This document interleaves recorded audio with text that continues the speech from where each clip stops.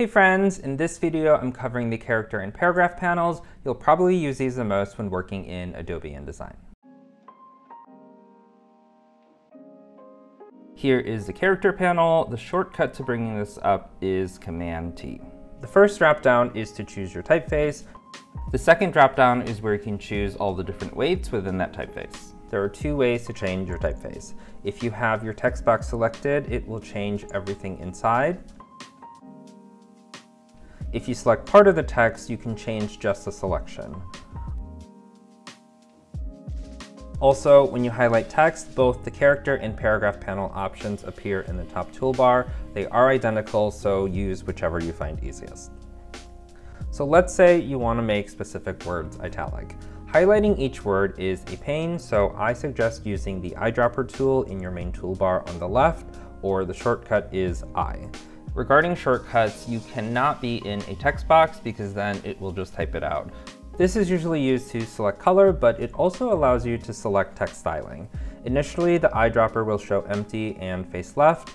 You can sample the styling you want by clicking the text. The eyedropper will then have some ink and face right. From here, you can highlight specific words and your life is so much easier. Next in the character panel is your point size on the left and then the leading on the right. Same thing, you can change the point size for the entire text box or specific parts. I'm very much a person that uses a lot of shortcuts and there is a shortcut to adjust these. For point size, hold Command and Shift and then tap either the greater than or the less than arrows depending if you want to increase or decrease.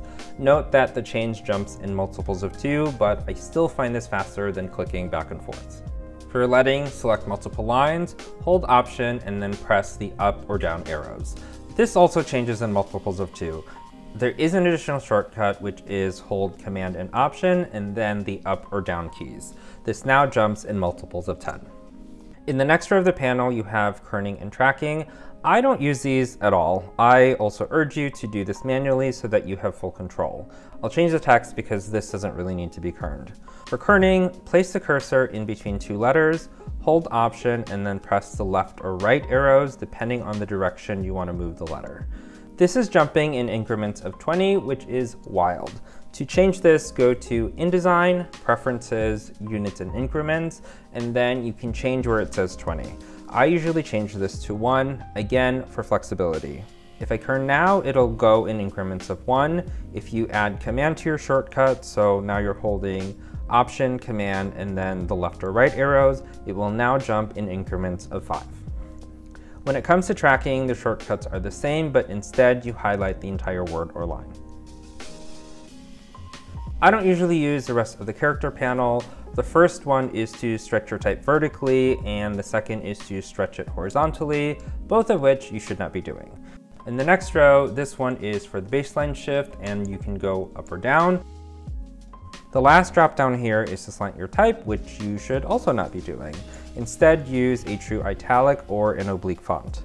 In this panel, we also have the top right dropdown, which has some additional options, all caps, small caps, superscript, subscript, underline, and strike through. I do use these, just not here. All of them exist in the top toolbar next to your point size and leading. Regarding all caps, there are two features in InDesign, which I'll cover again when I do the type dropdown video. Let's duplicate this real quick. First, let's use all caps in the character panel. For the other one, go to type, change case, and then you can choose uppercase, lowercase.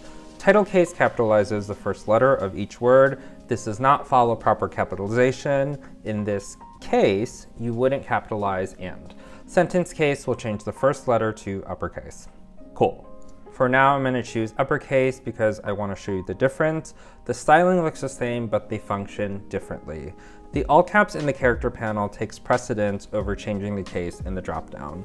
For the right, you can still change it, like so. On the left, no matter which you choose, it will not change.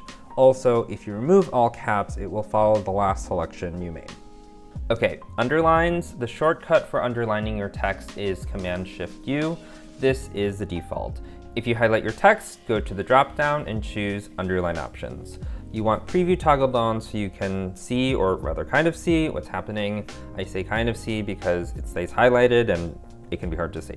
Here you can change the weight of the stroke. You can move the stroke down with the offset dropdown. You can also change the color. Unfortunately, you can't add swatches, so you would have to make sure the swatch was added before you did this. There is another way to use the underline feature. I'll highlight some text, go back to the underline options. This time I want it super thick. I'll change the color first. Now you can kind of see the full underline. For the offset, you can actually set it to a negative value to move it up. Click OK, and now you have a background color, but using the underline tool. And if you want to eyedrop this, you can.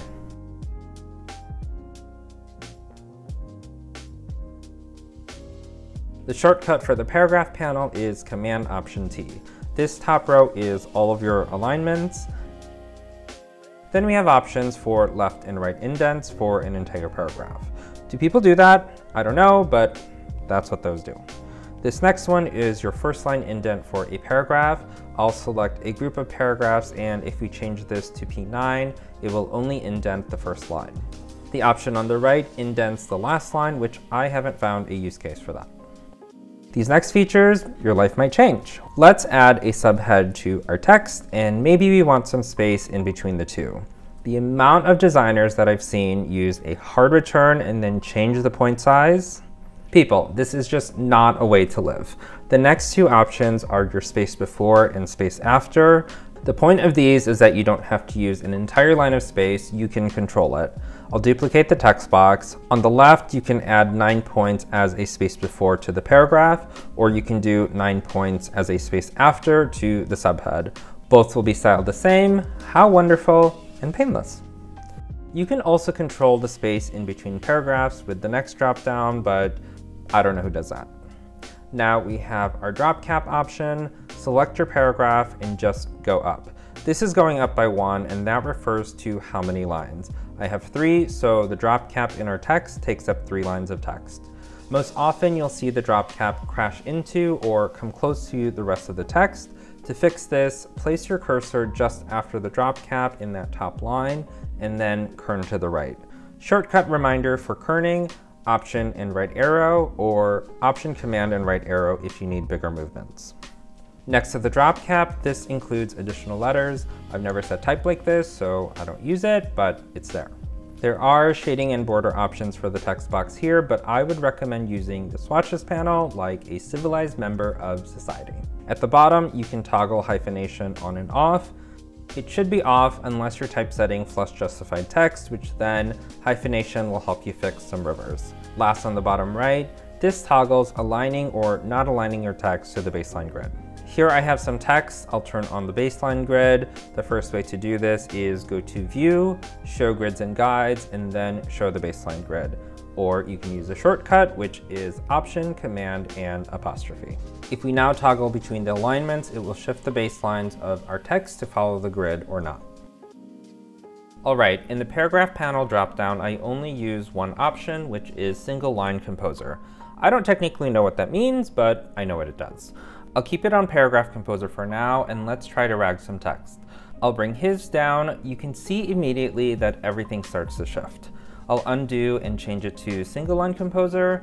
Now when we rag our text, it shifts line by line, giving you much more control. Note that I'm using soft returns, which is just shift and return. Those are the features for the character and paragraph panels. In part three, I will cover the swatches panel and working with color.